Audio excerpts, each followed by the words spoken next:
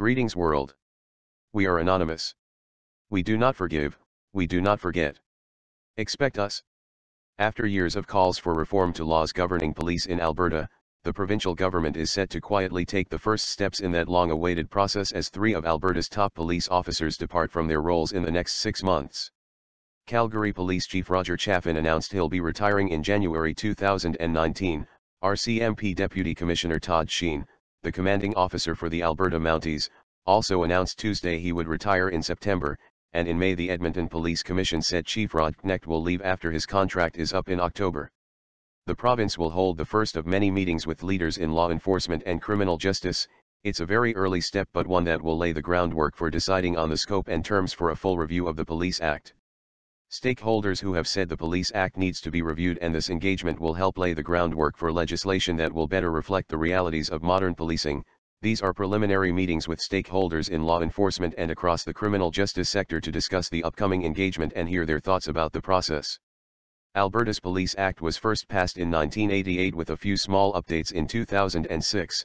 A rewrite of the law would be significant and have the potential to overhaul the guiding principles for Alberta's police and the mechanisms through which they are held accountable. Several groups and officials have called for Police Act reform in recent years, Five Calgary City Councillors spoke up in May and the Alberta Association of Police Governance made a recommendation last year. The act was flagged in a review of the Calgary Police Service's use of force. The issue also came up in April at a provincial inquiry into the Calgary Police Service's handling of complaints relating to allegations of officer misconduct during the arrest of Jason Arkinstall in 2008. Several local and provincial officials blamed vagueness in the law for breakdowns and delays in the disciplinary process. The case involved allegations of wrongdoing against two officers after the 2008 arrest of Arkinstall, a Hells Angels member who was accused of threatening to kill two officers during a traffic stop. Allegations of officer misconduct first surfaced in 2011 when the judge in the case said the testimony of Calgary police officers clashed with video of the arrest. Arkinstall walked on all charges. Both officers were eventually cleared of any wrongdoing, but in April a review board inquiry heard about delays and dysfunction in both the provinces and the Calgary Police Service's handling of the case. Several officials and investigative bodies had the power to trigger a provincial investigation, but none did until the law explicitly required it, and charges weren't laid until nine years later. The current law was written in an era prior to a computerized society.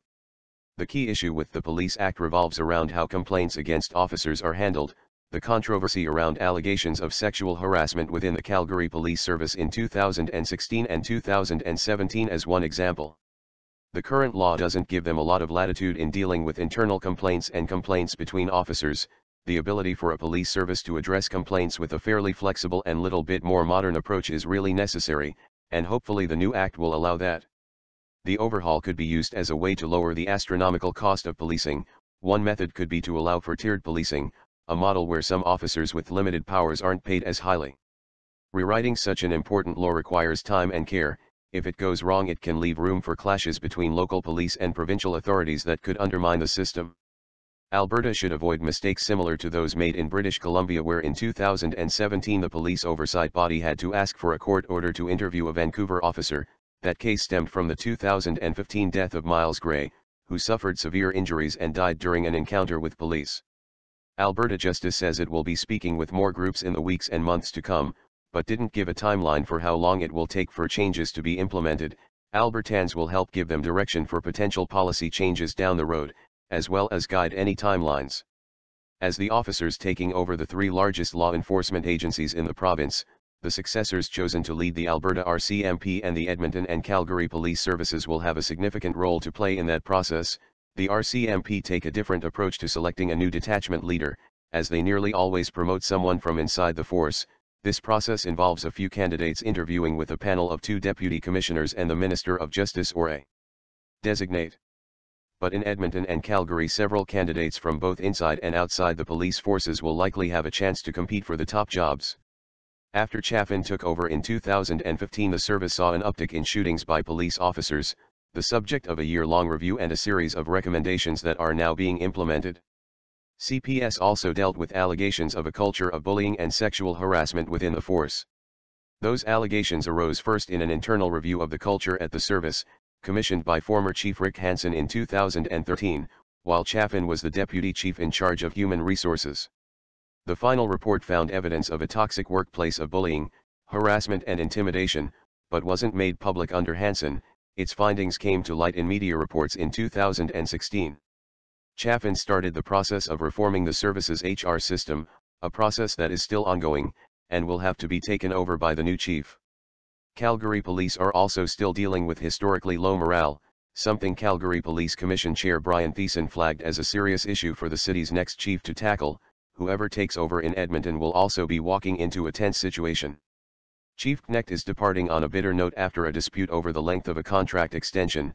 Knecht said his relationship with the city's police commission became caustic after a series of communication breakdowns and trust issues developed in 2017. Edmonton also dealt with internal workplace issues when in 2016, former Edmonton Police Association President Maurice Brodeur called for an independent investigation after a survey showed 80% of respondents within the force felt they worked in a culture of fear, King said that's an issue that could be a dilemma in the search for a new chief.